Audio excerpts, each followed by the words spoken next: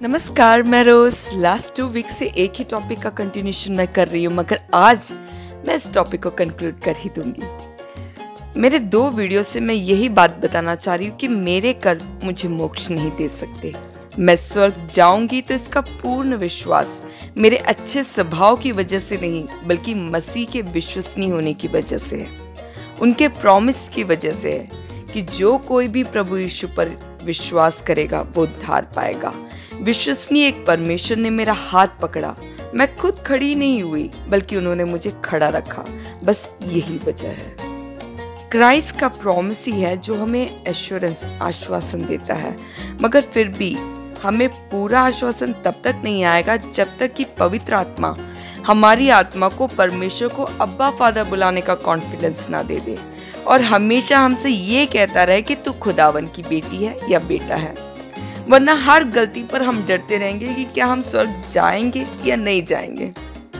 जब भी कोई यीशु के पीछे चलने के लिए तैयार होता है तो यीशु को मरे हुओं में से जी उठाने वाला वही पवित्र आत्मा पहले हमें मारने और फिर यीशु में जी उठाने का काम करता है। एक एग्ज़ाम्पल से इस बात को मैं समझाती हूँ। मान लीजिए कि मुझे कोई इन्फेक्शन हो गया, जिसकी वजह से मुझे बहुत हाई फीवर हो गया और फीवर के लिए मैंने पैरासीटामोल ले लिया और मेरा फीवर उतर गया। जैसे कि मैंने कोई गलत काम कर लिया, मुझे बड़ा गिल्टी फील हुआ। मैं चर्च अटेंड की, खुदा से सॉरी बोली अच्छा ऑफरिंग डाला, वचन सुना, मन खुश हो गया। मैंने पैरासीटामोल ले लिया और गिल्ट का वो फीवर उतर गया। मगर पैरासीटामोल से इन्फेक्शन को ट्रीट नहीं किया जा सकता। उसके लिए एंटीबायोटिक का कोर्स की ज़रूरत होती है। क्योंकि पैरासीटामोल छः घंटे के लिए फीवर को रोक के तो रख सकता है, मगर उसके बाद फीवर फिर से चढ़ जाएगा। और जैसे ही एंटीबायोटिक का कोर्स शुरू करते हैं तो धीरे धीरे फीवर की तीव्रता कम होती जाती है और फिर बाद में बॉडी नॉर्मली फ़ंक्शन करना शुरू कर देता है। हमारे लाइफ में भी कुछ इस प्रकार काम करता है। हम पाप के फल और वृक्ष को काट भी दें तो भी ये फिर वापस आ जाता है, जैसे पैरासीटामोल लेने के बाद बुखार। मगर जब होली स्पिरिट हमारे अंदर आते हैं तो वो धीरे धीरे पहले फल, फिर वृक्ष और फिर जड़ को सुखाने लगते हैं और जड़ से ही इसे हमसे अलग कर देते हैं। और इसी पॉइंट पर क्रिश्चियनिटी बाकी धर्मों से अलग खड़ी होती है, क्योंकि बाकी हर धर्म में हम पाते हैं कि एक सुप्रीम पावर एक भगवान होता है, जो पापियों को नाश कर अच्छे धर्मी लोगों को बचाते हैं और उसके लिए कई रूप में आते रहते हैं। मगर क्रिश्चियनिटी ही है, जो एक ऐसे सच्चे परमेश्वर से हमें मिलाता है, जो पापियों को भी बचाने, यीशु बन आए। और पापियों का नहीं, बल्कि पाप का नाश करने के लिए पवित्र रूह की ढाल और शस्त्र भी हमें दी। हमें अकेले लड़ने के लिए ना छोड़, हमें अनाथ ना छोड़, एक हेल्पर को हमें दिया, जो हमारे साथ खड़ा होता है, और जिसके साथ चल चल कर हम मोक्ष तक पहुँच ही जाएँगे।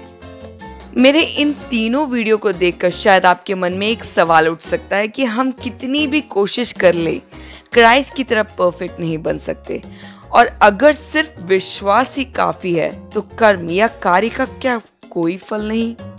इसका आंसर मैं आपको एक लास्ट एग्ज़ाम्पल देकर बताऊँगी।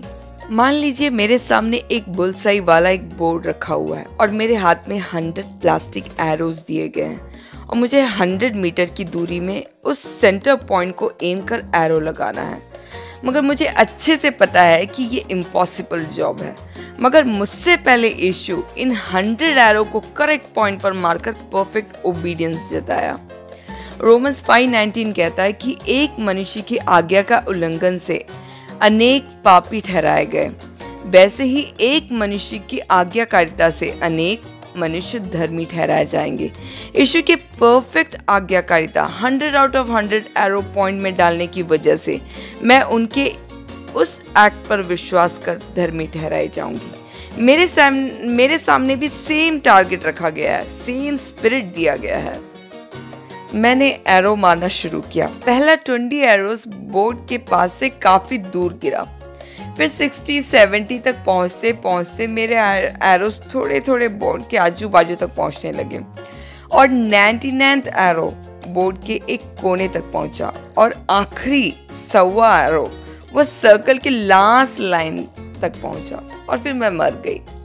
और इस कंडीशन में मैं न्याय के सिंहासन के सामने खड़ी हूँ। परमेश्वर ने मुझसे पूछा, तेरा लाइफ कैसा था?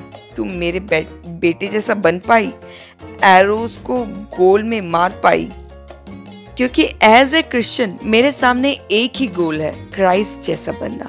सिन का मतलब है missing the mark missing the goal मगर मैंने उस पॉइंट को ठीक वैसे नहीं हिट किया जैसे यीशु ने किया।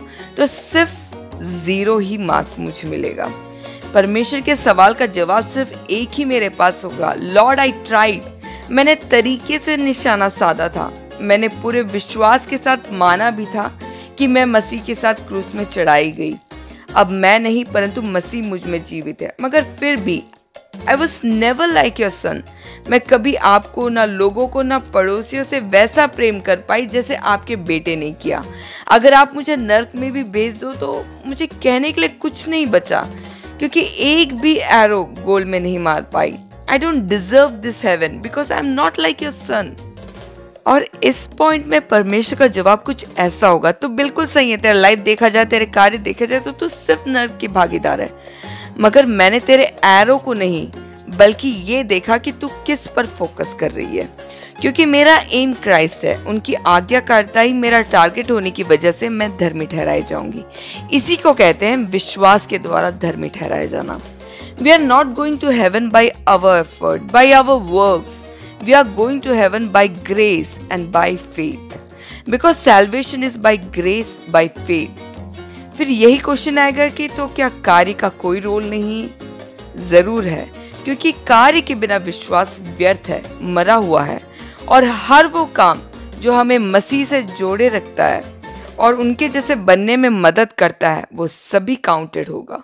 चलिए इसी के साथ इस टॉपिक को मैं विराम देती हूँ। वैसे कहने के लिए और भी बहुत कुछ है, लेकिन अब और इस टॉपिक को मैं खींचना नहीं चाहती। दुआ मांगती हूँ कि आप लोगों के लाइफ में ये वीडियो यूजफुल हो। इसी दुआ के साथ मैं रोज आप लोगों से विदा लेती हूँ। अगले थर्सडे फिर से कुछ नई बातों के साथ मुलाकात होगी। तब तक के लिए अपना ख्याल रखिए, खुश रहिए, मस्ती से जुड़े रहिए और मेरे चैनल को लाइक शेयर कमेंट और सब्सक्राइब करते रहिए। और हाँ एक और बात आप सभी को बहुत बहुत धन्यवाद। आप लोगों के हर प्यारे प्यारे कमेंट्स के लिए यशु मसीह आप सभी को आशीषित करे। धन्यवाद।